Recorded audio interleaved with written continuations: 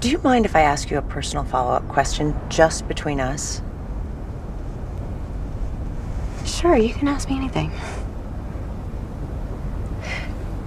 Did you actually get vetted for this job?